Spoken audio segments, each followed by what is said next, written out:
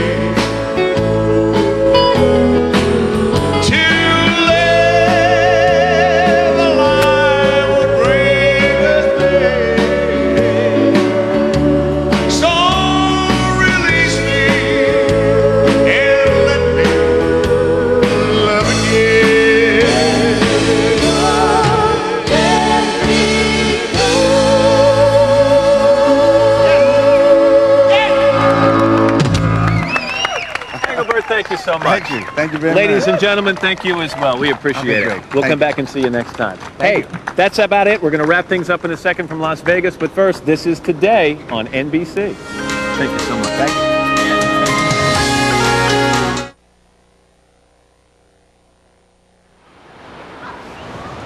I don't know about you guys, but Engelbert Humperdinck brings back memories for me.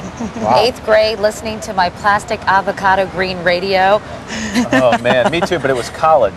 But, uh, sure it was. He was great. So what do you say? We hit the casinos? I think yeah. we should at least, yeah, for a little bit. Little Play a little baccarat? baccarat? Oh, yeah. Do you know how to do that? Oh, yeah. Bunk to bunk.